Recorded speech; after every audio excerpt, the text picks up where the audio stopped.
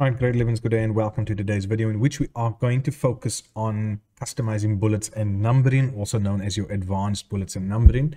So we already know that if we highlight all of this over here, we can go up to our bullets and we can define a particular bullet, right? Now they're asking us to do something more intricate. They're asking us, well, they want us to change the bullets to a dollar sign, a particular size, uh, formatting applied to it as well, and some paragraph spacing.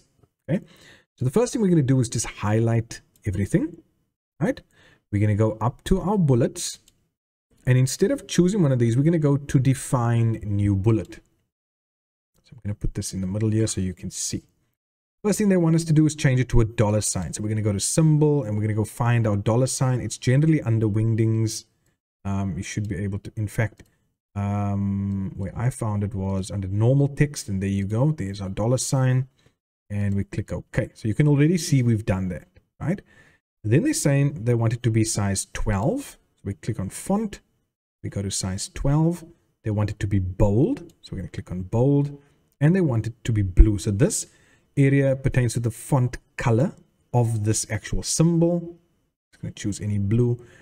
Um, whereas this is your underline style and your underline color if you need that. Okay, and then I'm going to click OK because there's nothing else for spacing over here. Click OK, you can see that changes.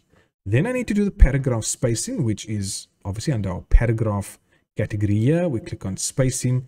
There's nothing about, you know, before and after here. So we're going to go to line spacing options and they're saying three points after. So we go to after and we're just going to type in the number 3 and click OK.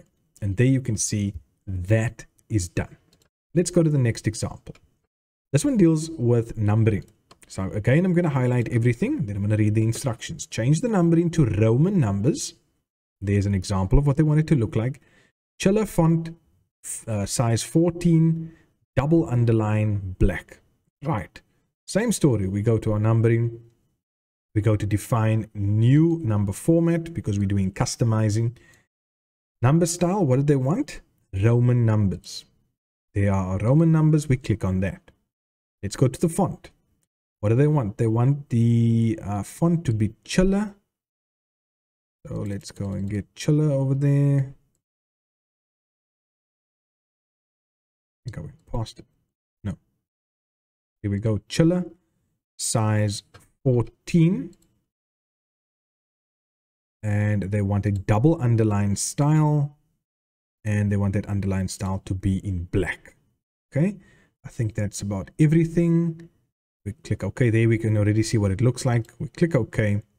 Click ok again and there we have it in place. Now um, i know sometimes they deal with multi-level lists and you'll see here when i go uh, to my numbering in fact, if I go to list level uh, of that numbering, we can see that if I am going to tab any of these numbers over to the right hand side, the numbering is going to change. Okay.